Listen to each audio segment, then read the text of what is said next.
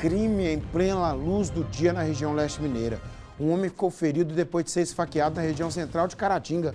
Uma equipe do Corpo de Bombeiros chegou ao local e prestou os primeiros socorros à vítima, que foi encaminhada para atendimento médico do Hospital Nossa Senhora Auxiliadora. Aí, ó, o SAMU, Serviço de Atendimento Móvel de Urgência, também esteve presente para dar suporte ao trabalho de resgate e garantir que a vítima recebesse a assistência necessária, né?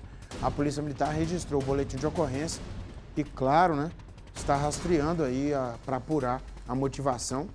É, primeira autoria, né? É, primeiro achar quem é o autor e saber do que se trata. A vítima também pode dizer né, do que se trata, né?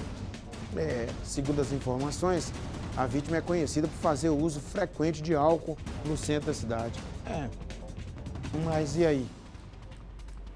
A vítima é conhecida, mas tá ferida, né? Tem que ver o que motivou isso. Será que é outra confusão? Parecida com aquela primeira que o Tomás contou aí?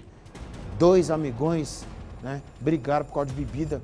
O outro pegou uma garrafa, cortou o pescoço do amigão, matou o amigão. É. Aí deve ser um caso semelhante aí, ó.